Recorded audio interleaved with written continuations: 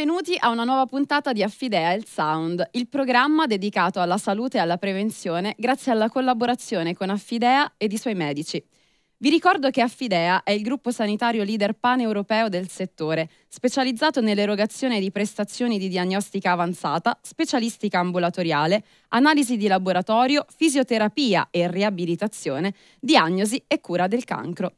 Nella puntata di oggi parleremo di malattie rare, nello specifico di tumori neuroendocrini. Che cosa sono e come diagnosticarli? Scopriamolo insieme. I tumori neuroendocrini sono neoplasie rare e rappresentano meno dello 0,5% di tutti i tumori maligni. Negli ultimi anni si è registrato però un aumento dei casi, dovuto in parte al miglioramento delle tecniche diagnostiche. Queste metodiche innovative sono disponibili in pochissimi centri medici. Uno di questi è Affidea Irmet a Torino, che si prende cura del paziente oncologico con grande attenzione alle nuove esigenze della medicina che nell'ambito medico-nucleare è sempre più una medicina di precisione. Ad Affidea il Sound abbiamo il piacere di ospitare il direttore sanitario di Affidea Irmet, il dottor Vincenzo Arena. Benvenuto, dottore. Salve a tutti e grazie per l'invito. Dottore, ci può spiegare che cosa sono i tumori neuroendocrini e quali organi colpiscono? Come ha detto precisamente lei, sono dei tumori rari, colpiscono lo 0,5% di tutti i tumori e colpiscono organi tra i più svariati, organi che eh, hanno all'interno cellule endocrine e cellule nervose.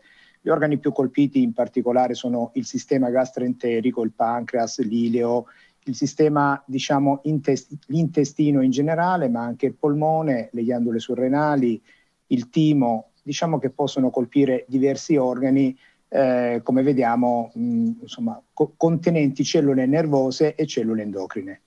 Come abbiamo detto, appunto, si tratta di eh, una malattia rara, ma quali pazienti colpisce e questi pazienti che aspettative di vita hanno? I pazienti colpiti sono, eh, in genere sono pazienti adulti, è una malattia rara, essendo già rara di suo nei bambini, sono pazienti adulti barra pazienti anziani, uomini e donne più o meno stessa, con la stessa frequenza.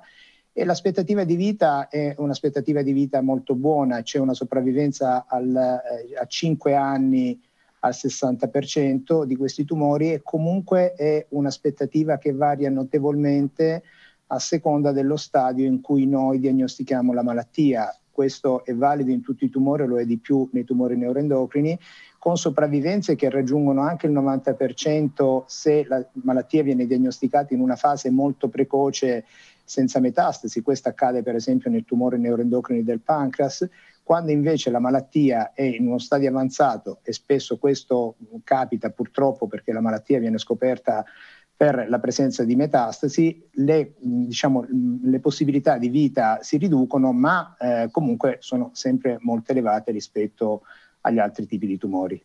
Quindi l'importanza di una diagnosi precoce, ma quali sono le tecniche diagnostiche che utilizzate in Affidea IRMET?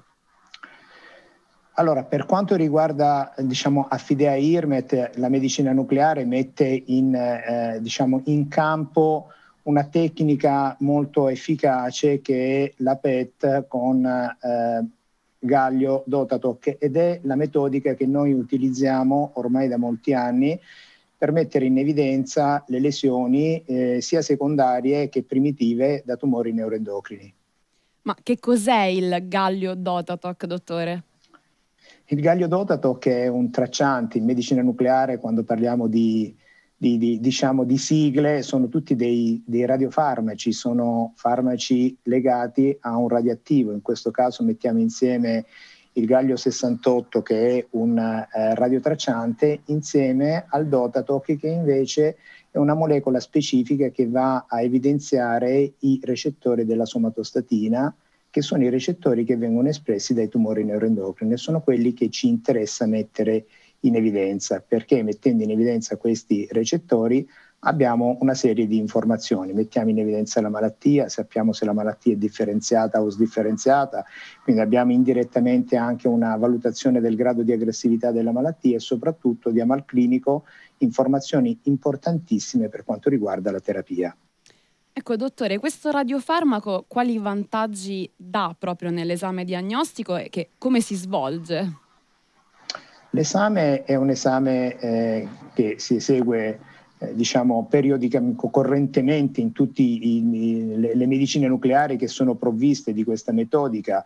Abbiamo una colonna di gaglio che eh, rimane in istituto per tutto l'anno, eh, facciamo noi la marcatura del tracciante, il paziente non deve fare nessuna preparazione particolare, arriva con un digiuno di un'ora, due ore, ma semplicemente perché dovrà poi tenere una posizione coricata quando esegue l'esame L'unico accorgimento è che il paziente che fa terapia con somatostatina eh, sia, diciamo, esegua l'esame possibilmente a, almeno a tre settimane dall'ultima somministrazione. Si fa un'iniezione nel braccio, il paziente aspetta un tempo di circa 45-60 minuti, dopodiché va sulla macchina e fa l'acquisizione delle immagini, 15-20 minuti di acquisizione. Finito l'esame, il paziente rimane nella struttura finché il medico eh, guarda le immagini e decide che va tutto bene, dopodiché viene rimandato a casa e fa la vita che faceva gli altri giorni.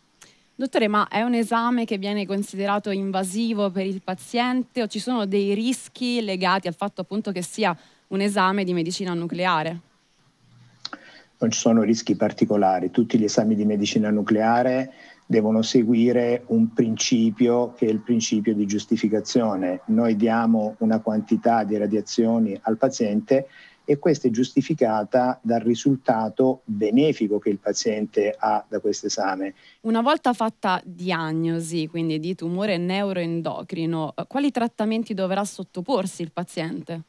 I trattamenti di questi tumori sono, diciamo, sono diversi, sono trattamenti chirurgici, trattamenti eh, medici con farmaci che vengono utilizzati se la PET con il gaglio è positiva, quindi la somatostatina, farmaci eh, più mh, importanti dal punto di vista diciamo, degli effetti collaterali per il paziente, chemioterapici, quando la somatostatina non è in grado di controllare il tumore, fino ad arrivare alla terapia radiorecettoriale che viene effettuata con lo stesso meccanismo che utilizza la somatostatina, cioè quella di andare a eh, occupare i siti eh, dei recettori della somatostatina, ma questa volta non utilizzando un farmaco eh, diagnostico come il gaglio Dotatoc, bensì un farmaco terapeutico che viene utilizzato sempre all'interno dei reparti di medicina nucleare attraverso un ricovero di un paio di giorni e che è il lutezio marcato con Dotatoc e che ha ottimi risultati perché eh, stiamo parlando di terapia eh, recettoriale, quindi terapia mirata alla patologia che dobbiamo curare. Ringraziamo il dottor Vincenzo Arena di Affidea Irmet per questo approfondimento specialistico su uno strumento indispensabile al fine di esaminare un tumore raro, proprio come quello neuroendocrino. Grazie mille, dottore. Grazie a voi e arrivederci. Non abbiate paura di rivolgervi ai professionisti che si prendono cura della vostra salute e del vostro corpo. L'appuntamento è per la prossima puntata di Affidea il Sound.